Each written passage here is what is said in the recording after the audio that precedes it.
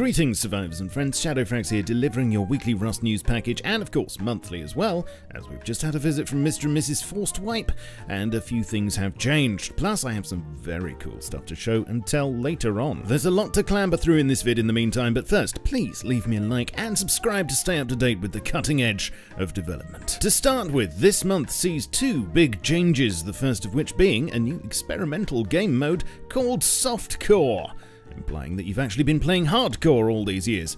But then, you already knew that. This is an optional server setting that's by no means meant to be a replacement for the normal experience, and it is an experience. And to start with, there are only going to be 10 official servers available with this setting. All others will remain as standard. Everything about this mode is new and therefore subject to change, but in short, a roundup of its current features are on death, a random 50% of your inventory and hotbar can be reclaimed by you and only you either way you died in a small stash next to your body, or if it's more convenient and safer to do so, at one of these new reclaim terminals, which can be found at the bandit camp and outpost. The other 50% plus your clothes will remain on your corpse and can be looted by anyone. And of course, your belongings won't hang around forever in the rust and found, so you'll have to be quick. All players will now have the option to respawn at the bandit camp or compound as well, providing that they're not currently flagged as hostile. You can only view the contents of a wounded player, not loot them, and maximum team size is limited to 8 as default,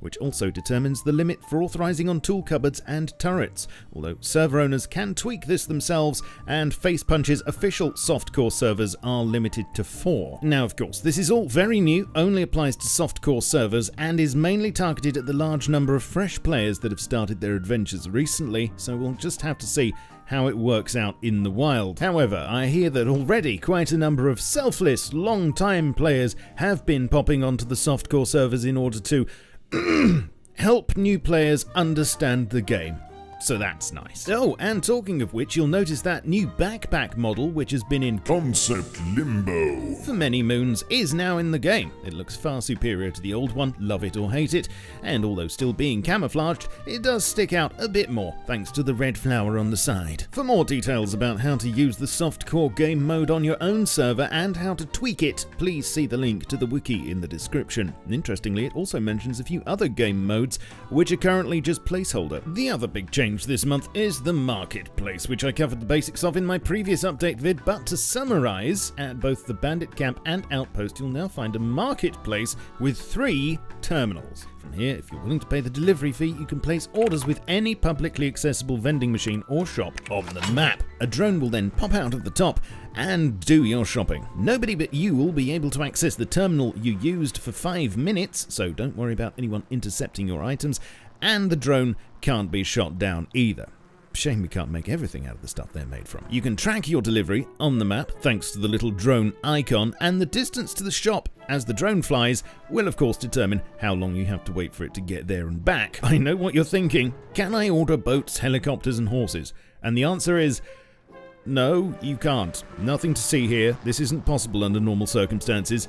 This is why we can't have nice things but we totally should be able to. Of course, no system is perfect or risk-free, you still have to get your items home from the marketplace, and when a drone holding a package whizzes overhead, it might just give the local Zerg a hint about where to go next. You have been warned. Let me know what you think to these changes in the comments, please. This month's patch also sees not a small amount of quality of life improvements, including key locks auto-locking on placement, a new suicide option on the escape menu, turrets auto-reloading whenever a new weapon or ammo is added, and wooden shop fronts are now default blueprints and have been removed from the loot table. You can place deployables inside watchtowers now, the jackhammer is skinnable and has an admire animation, talking of which the next round of Twitch drops are here, and these are actually for OG content creators this time. I'll put a link to the drops page down below for you. I know what you're thinking though, but don't worry. There were also a few exploit fixes, namely with the small stash. No, not that one. I mean, now if you place a foundation over the top of a stash, it will just destroy it, so my sincere condolences if that was a favourite of yours. But of course, this means you can now find stashes in the wild more easily with a building plan, some wood, and enough patience.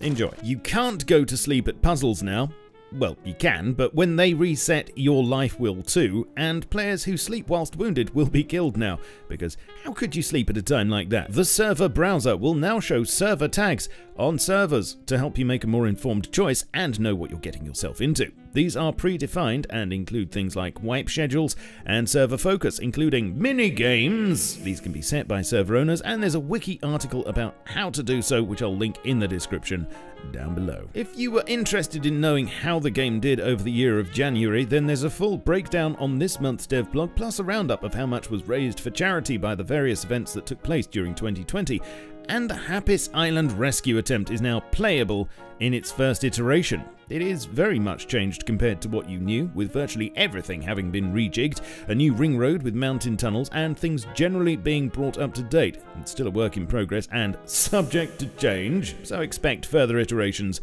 in the coming months. Oh, and this mask is now in the item menu. I think we can all guess what it's for, and by my reckoning, we should eventually get a horse mask in 2026. Right, it's time to go over to Works in Progress, where all the really cool stuff is waiting, and face Punch artist Tom has been streaming a bit of his work recently, link below. It seems his current project, straight from Concept Limbo, is a submarine that would make the Beatles very proud indeed, although I don't think they'd all be able to live in it. It's only meant to be a two-man, I think. Actually, it's only Paul and Ringo now, sadly, so does this mean we'll be getting some underwater monuments soon? What about that crashed sub? What else will the hunt for Rust October bring? Sharks and harpoons, maybe? Details are very sketchy at the moment, so stay tuned. Did you know there's also a spawnable and player usable drone in the game now? Admins can spawn it with spawn drone.deployed in console. You can pick it up and put it down. The icon's just an inner tube at the moment, and to use it, you'll need to enter none in a computer station. Shift makes it go up, Control makes it go down, and I'm sure you can figure out the rest. It does have a range though. Exciting times. And lastly, not only have we just received drones, but this model is apparently finished in preparation for a function as yet to be revealed. It's obviously not going to be as sprightly as a Boston Dynamics product, and looks more likely to be bringing you tea and crumpets in your base than leaping at you and chewing your kneecaps off. Again, this could end up being all sorts of things. Perhaps it will pick up items for you from failed raids, for instance.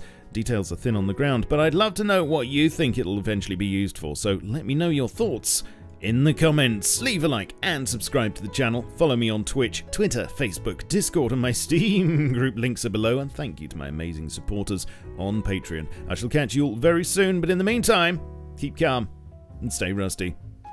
Cheerio. Powered by AWDIT's producer range of workstation PCs available now at awdit.co.uk. This is why we can't have nice things.